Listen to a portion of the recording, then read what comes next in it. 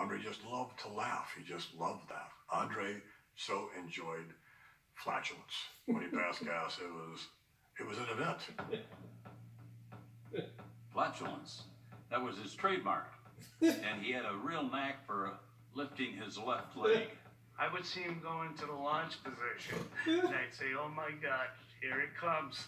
You've never heard anything like it. It sounded like you know like a deep roar kind of like thing. It would rumble.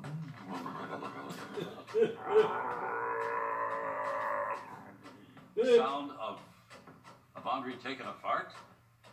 Well, they were loud. Big man, big fart. He'd love to get you in an elevator and cut one of those long 30 second farts. It sounded like skin was flapping together.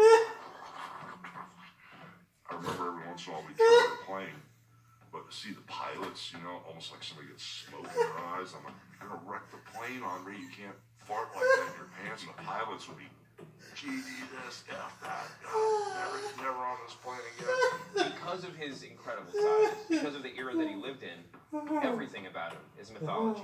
The wildest, most outlandish stories are what takes hold in the public consciousness. You could say anything about Andre and people would believe it.